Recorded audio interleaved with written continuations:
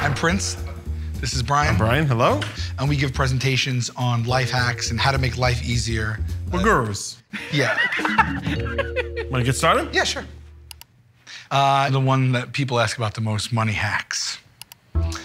You can check your neighbor's mailbox for coupons and samples. Break the law.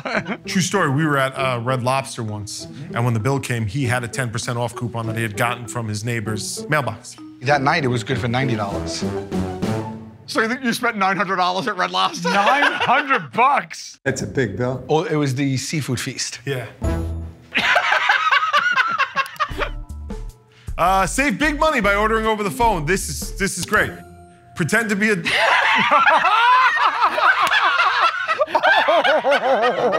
If there's something for the taking that you can't be double checked for that's a hack. Yeah. Restaurants will be too cowardly to ask you to prove it. What we're saying. Save Dort money.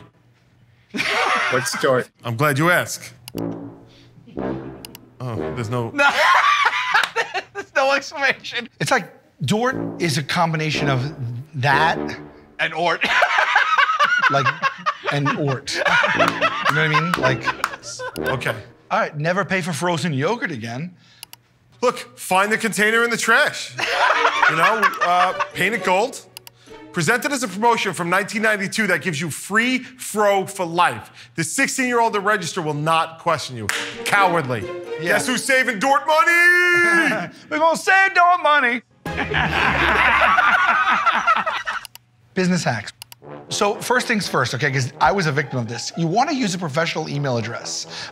So Bryant's college email was ganjaweasel69 at universityofphoenixonline.com. yeah. Um, to which he did not go. In college, you I, you want to be the guy that's known as Ganja Weasel 69 for many reasons. Hit next. now that's my new one. President at Gmails. Next slide. Okay. Dailies. Create a friend you. The friend you or friend menu is when you befriend people solely based on their career so you can get free services out of them. Like on my friend you, I got a dentist that cleans my teeth gratis, a cop that got me out of two speeding tickets, and a hit and run legally cannot discuss that. Uh, and a barber that cuts my hair for free. In return, I just have to talk about him during these presentations.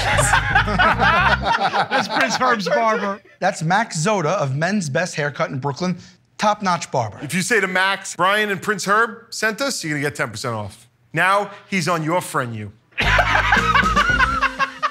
end. So raise your hand if you think that you've learned anything of value from this presentation today.